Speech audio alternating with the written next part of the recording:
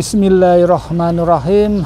Assalamualaikum warahmatullahi wabarakatuh.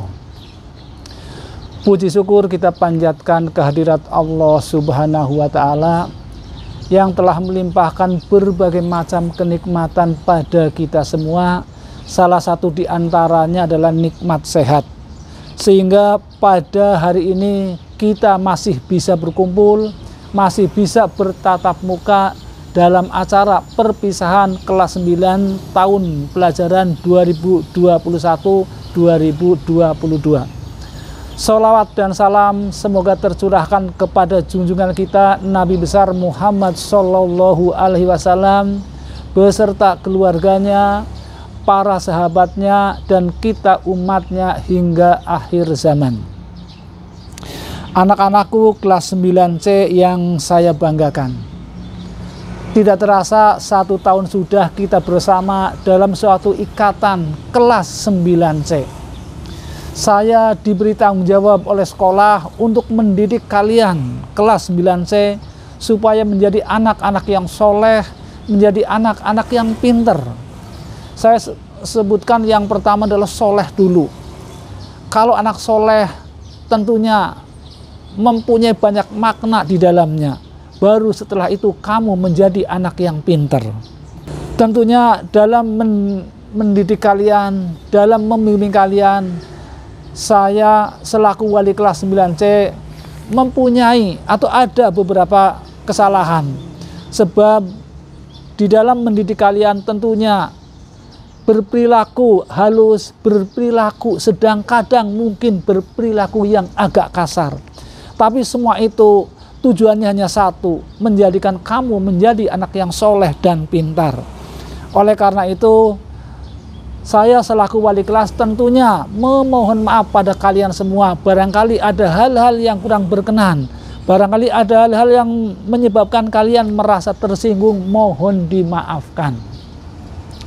Anak-anakku kelas 9C yang saya banggakan ada beberapa hal yang ingin Bapak sampaikan. Yang ter, eh, yang pertama adalah Bapak tahu kalian semua adalah penganut agama Islam. Karena kalian sudah menyatakan penganut agama Islam, laksanakan, kerjakan syariat-syariat yang ada di dalam ajaran agama Islam. Salah satunya adalah sholat. Sholat, sholat, dan sholat tolong jangan sampai kalian tinggalkan. Dalam beberapa kesempatan pada saat Bapak masuk ke di setiap kelas, Bapak selalu mena, e, menanyakan, sudahkah tadi pagi kalian melaksanakan sholat subuh?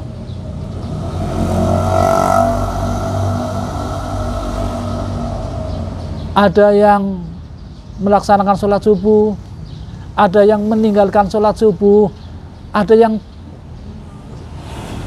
tidak melaksanakan berhari-hari sholat subuh tadi. Oleh karena itu sekali lagi dalam kesempatan ini Bapak selaku wali kelas 9 memohon pada kalian jangan tinggalkan sholat.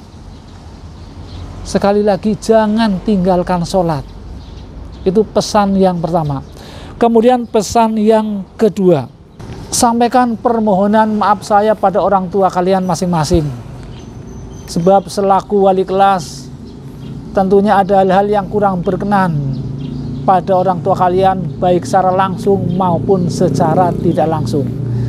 Pesan yang ketiga, semoga kelas 9C khususnya dan siswa SMP Negeri 2 Bumiayu pada umumnya tahun ini lulus 100%.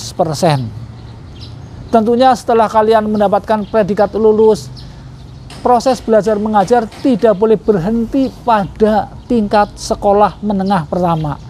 Kalian harus melanjutkan pendidikan ke jenjang yang lebih tinggi. Harus melanjutkan pendidikan ke jenjang yang lebih tinggi. Sesuai dengan cita-cita kalian. Boleh masuk SMK, boleh masuk SMA, boleh masuk madrasah aliyah negeri. Silahkan, yang penting pendidikan harus dilanjutkan salah satu cara atau salah satu cara untuk menghilangkan kebodohan dan kemiskinan adalah melalui jalur pendidikan. Anak-anakku yang saya banggakan, kita wajib berusaha kita wajib berikhtiar semaksimal mungkin. Baru setelah itu kita bertawakal pada Allah Subhanahu wa taala. Demikian yang dapat saya sampaikan, yang dapat Bapak sampaikan pada kalian. Billahi taufik wal hidayah. Wassalamualaikum warahmatullahi wabarakatuh.